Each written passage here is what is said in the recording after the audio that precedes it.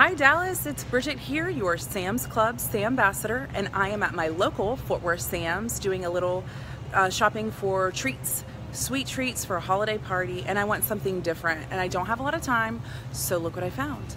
Edible cookie dough from the Cookie Dough Cafe. It comes pre-portioned into eight cups, which is awesome. I can also let my daughter help herself to these. They're already pre-portioned. I don't have to worry about her scooping out a whole tub and trying to eat it.